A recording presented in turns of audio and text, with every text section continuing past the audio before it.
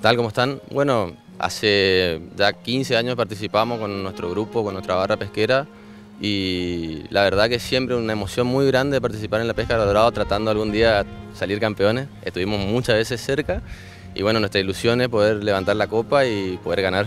Somos los Piratas del Paraná, somos mi hermano, Facundo, eh, después somos varios amigos, Diego, está Conito, Chiquito y Emma, que ellos van a saber quiénes son, y la barra pesquera Los Piratas del Paraná, pero hoy nos sumamos con otra barra pesquera más grande que son los Rompetodos para hacer un equipo grande y tratar de ver si podemos subir al podio. Y la cancha está súper complicada porque el río está básicamente dos metros abajo de lo que normalmente solemos pescar, así que se mueve el dorado, se mueven para otras piedras ya las conocemos, por suerte siempre venimos a pescar al paso, las conocemos, sabemos dónde están.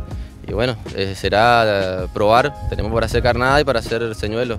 Eh, en los dos modalidades nos va bien, pero bueno, depende, si está muy movido el río, es carnada. Y si está así planchadito como está ahora, es señuelo. Bien, en el grupo, ¿quién es el más favorito? ¿Hay, ¿O son todos parejos, digamos? No, no, siempre yo. Siempre yo, sí, sí, sí, siempre. bueno. Perdón muchachos, pero vengo, vengo tirando, tirando bastante, bastante capturas las últimas veces, pero bueno, todos sacan siempre, pero en los torneos me, mentalizo de que tiene que salir, tiene que salir, y en todo el año no saco nada, pero acá sí. Lautaro, eh, felicitaciones, éxito y bueno, ojalá que tengan una buena pesca y que disfruten de estos eventos que sé que para ustedes eh, es una cosa linda. Bueno, ojalá así sea. Muchas gracias. Estamos con Joel Gómez Aquino. Joel es eh, un vecino en la ciudad de Corrientes que seguramente no es la primera vez que usted participa en este evento. No, ya participé en otras oportunidades, así que espero que este año sea el ganador. Bien, ¿qué año participó Joel? Participé en 2014, 15, 16 y 17 y ahora 18. Así que ya son cuatro años. Bien, coméntenos un poco la técnica de la pesca. Eh, ¿Usted siempre prefirió surubí, dorado? ¿Qué lugares recorre la provincia? ¿Qué le parece? No, mira, soy pescador acá de la zona nada más y, eh, ya te digo, eh, ¿cómo es? La técnica es señuelo y si no, morena. Bárbaro. ¿No puedes detallar un poco la embarcación? Está comprendida eh, nombre, apellido y, bueno, y coméntenos algunas experiencias de este evento. Sí, sacamos en una oportunidad, estuvimos a punto de, o sea, a dos números del sorteo y, y la embarcación es una embarcación grande, así que cómoda y segura, por sobre todas las cosas. Somos tres, tres integrantes yo y dos compañeros más que integramos una barra pesquera que se llama Pirayapú. Hoy domingo, el día especial para nosotros, estamos en la 55 aniversario de la pesca al dorado, nosotros. Y justamente tenemos la oportunidad de entrar en la fiscalización. Por primera vez en la historia, en 55 años, la cooperativa de guía de pesca tiene la posibilidad de fiscalizar nuestro, nuestro, nuestra fiesta. Bien, perfecto. Odria, ¿a qué, eh, ¿a qué hora arrancó la actividad? Si ayer ya hicieron una recorrida, comenten un poquito cuáles son los puntos específicos de su trabajo, su labor, su jornada. Bueno, ya esto viene acarreando desde hace más o menos un mes, trabajando con la gente, buscando los, timoneles, los guías, la gente responsable para poder que esto salga bien, que una vez por todas, Paso de la Patria vuelva a surgir como como fue hace bastante años, 20, 20 25 años atrás, que Paso de la Patria fue un, lugar turístico muy renombrado en todo el mundo, en el mundo. Bien, eh, coméntenos cuál es la tarea específica que ustedes van a desarrollar en la cancha. Bueno, eh, tenemos, contamos con 30 y, más o menos 31 lanchas ya de la cooperativa que comprometimos a la gente para, justamente para fiscalizar este torneo. Eh, son todos gente profesionales que trabajan en el rubro tanto guía de pesca, eh, dueños de embarcaciones que también son prácticamente dueños de nuestro río y tratando de lo posible de darle un marco eh, fundamental a este torneo. Bueno, justamente muy, muy especial su pregunta, ¿no es cierto?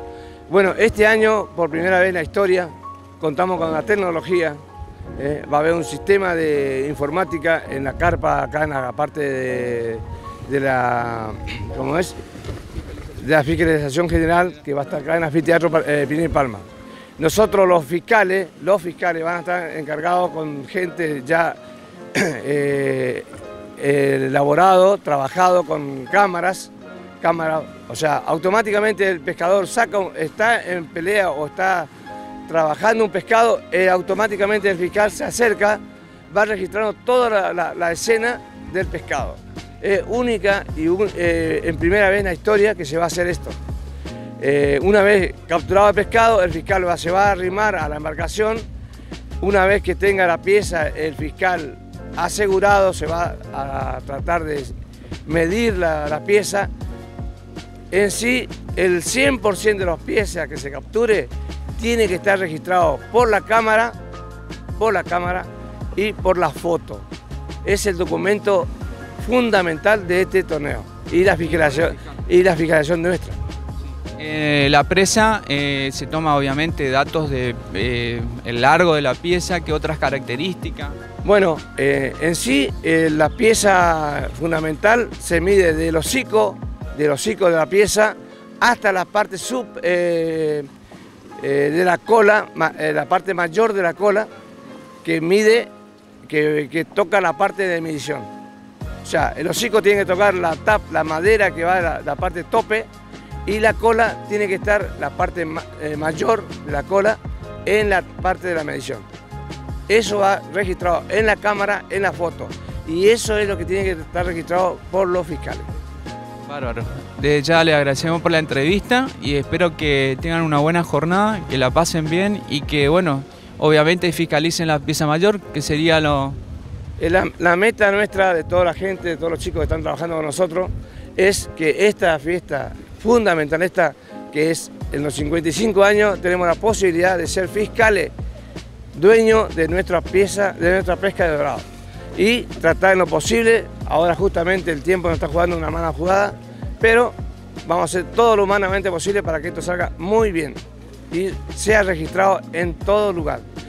O sea, que de la pieza 1 a la pieza 100, ojalá que podamos, tiene que estar registrado y eh, filmado por los fiscales que van a estar en distintas embarcaciones. Son 31 eh, embarcaciones con fiscales, con cámaras y celulares que van a estar registrando la captura. Gracias, gracias. Estamos eh, con otra embarcación, con Ricardo. Coméntenos, Ricardo, ¿esta es la primera vez que participa en este evento? Sí, buenos días. Sí, es la primera vez que participamos y estamos con mucha expectativa y muchas ganas, a pesar de que está complicado el tiempo, pero bueno, eh, vinimos navegando de corrientes del Perichón más o menos y es bastante bien todavía. Bien, usted conoce la cancha, es un pescador de, un tiempo largo, eh, coméntenos un poquito. Sí, siempre pescamos, es la primera vez que competimos, pero siempre estamos pescando. Casualmente el domingo pasado tuvimos una pieza de 7, 8 kilos acá enfrente de la isla del Cerrito y bueno, estamos con unos compañeros de trabajo y amigos, a ver si la suerte nos acompaña.